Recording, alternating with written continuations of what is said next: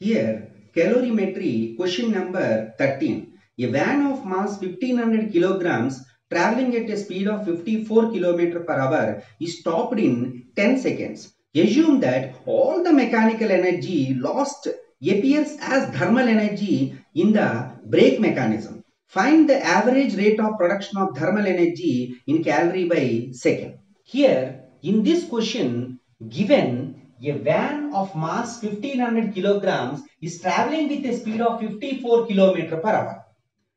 If the van is traveling with 54 km per hour, after applying the brakes, what happens here? It will stop.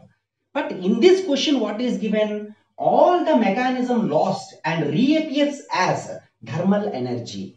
That means what is the mechanism in this one? That is kinetic energy.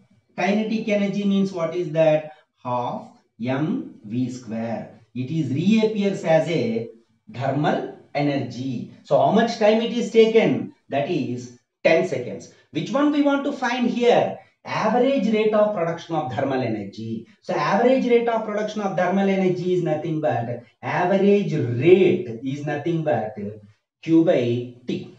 But here what is Q here? Half mv square. That is half mv square divided by T. So here half into m means what is that here? 1500 into velocity here how much given? Velocity 15 15 into 15 divided by time how much here? 10 1 0 1 0 cancel. 2 75 into 225 this is joule by seconds this is joule by second why because this is energy and this is time.